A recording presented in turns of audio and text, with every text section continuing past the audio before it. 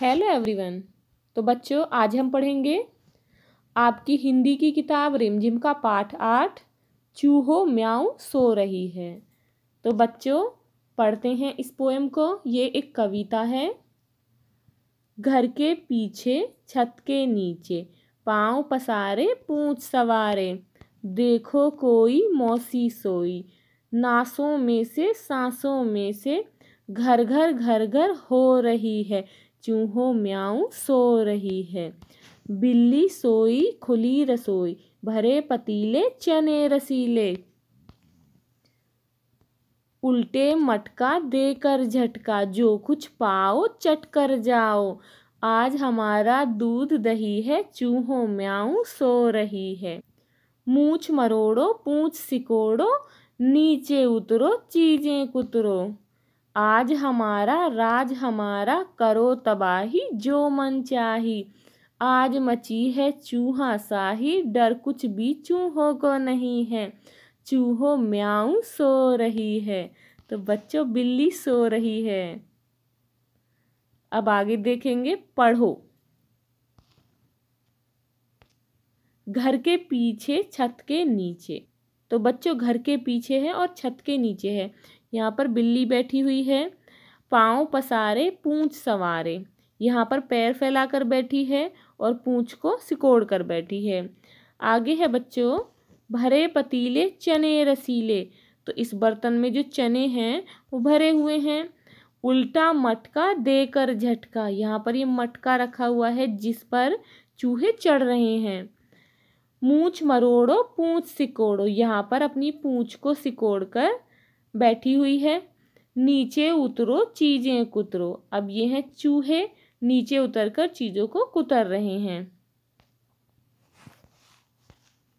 अब चलो बच्चों, चूहा बनाते हैं। तो सबसे पहले तीन लिखेंगे, फिर मूछ और कान बनाएँगे। उसके बाद आँख और पैर बनाओ।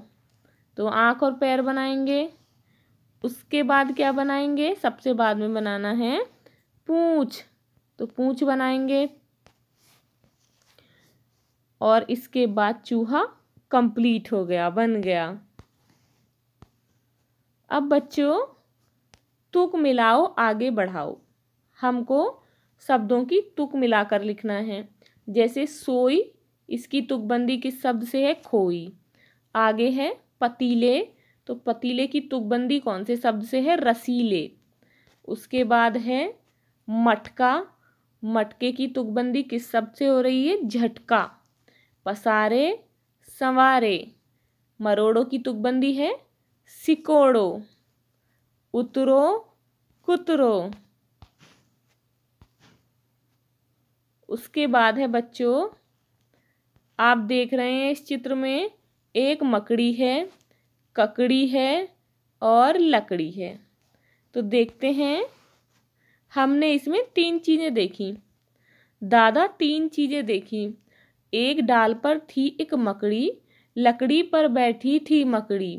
मकड़ी खा रही थी ककड़ी, लकड़ी मकड़ी ककड़ी मकड़ी ककड़ी लकड़ी ककड़ी लकड़ी मकड़ी। हमने तीन चीज़ें देखी। दादा तीन चीज़ें देखी। एक खेत में थी कुछ बालू बालू बोलते हैं रेत को।